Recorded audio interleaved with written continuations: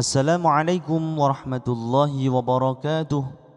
Para pemirsa yang budiman yang dirahmati Allah Subhanahu wa taala, pada video kali ini akan saya sampaikan bacaan Bilal salat Jumat lengkap dengan tata caranya. Satu, Bilal membaca doa pengantar sebelum melakukan azan pertama. Subhanallah والحمد لله ولا إله إلا الله والله أكبر ولا حول ولا قوة إلا بالله العلي العظيم أعوذ بالله من الشيطان الرجيم.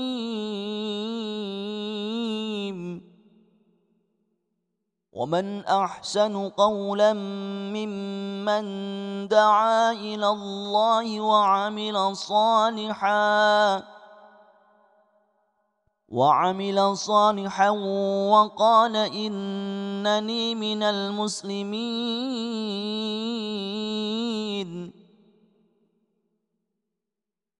قل ادعوا الله أو ادعوا الرحمن أيما تدعوا فله الأسماء الحسنى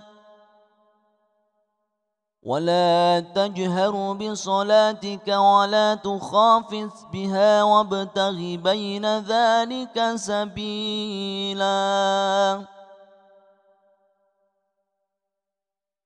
وقل الحمد لله الذي لم يتخذ ولدا ولم يكن له شريك في الملك ولم يكن له شريك في الملك ولم يكن له ولي من الذل وكبره تكبيراً.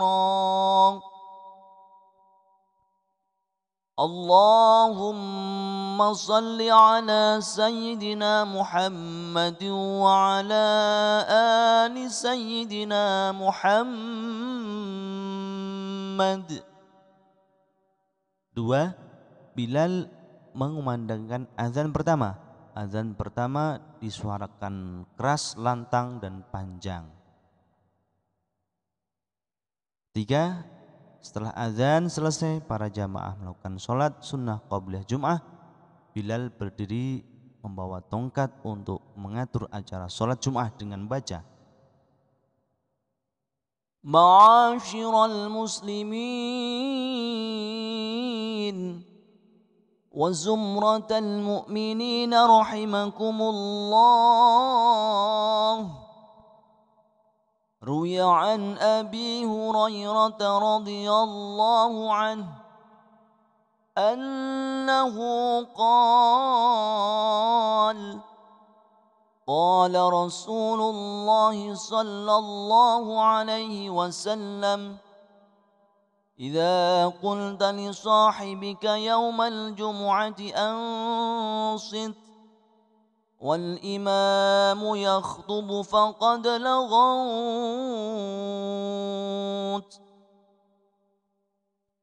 أنصتوا واسمعوا وأطيعوا رحمكم الله.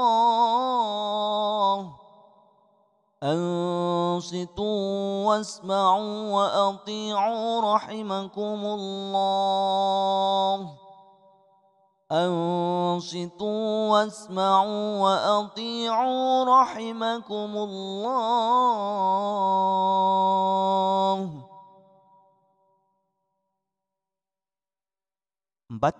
di saat khotib akan menaiki mimbar. Bilal memberikan tongkat kepada khotib, Bilal mengiringi dengan baca salawat Nabi. Allahumma salli ala Sayyidina Muhammad. Allahumma salli wa sallim ala Sayyidina Muhammad.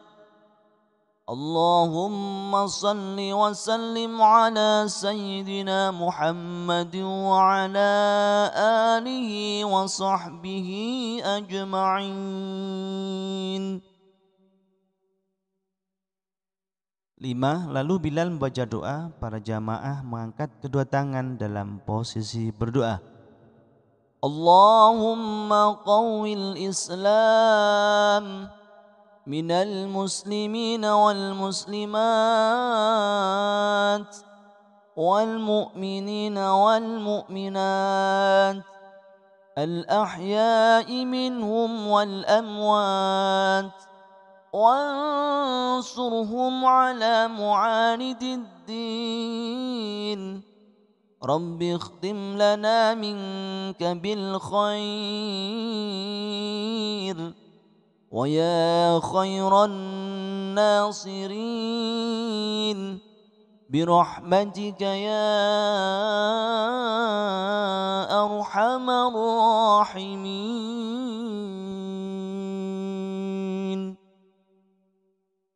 6.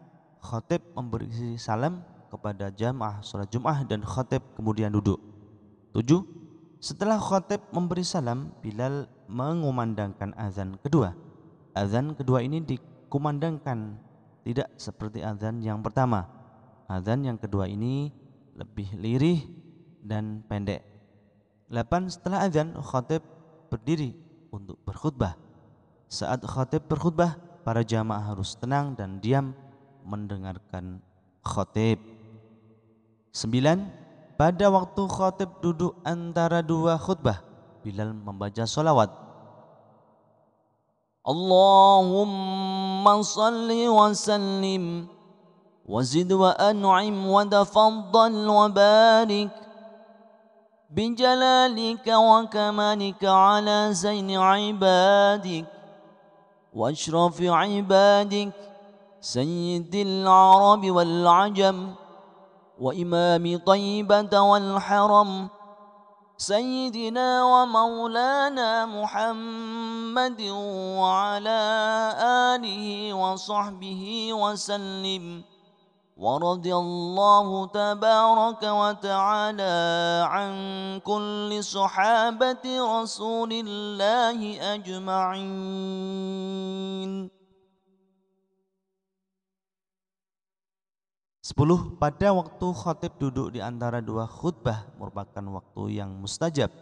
Karena itu para jamaah dianjurkan untuk berdoa. Kemudian khatib berdiri lagi untuk khutbah kedua.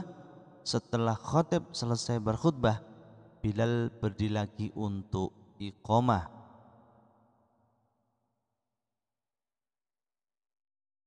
Sebelas jamaah berdiri dan melakukan sholat fardu Jum'ah secara berjamaah.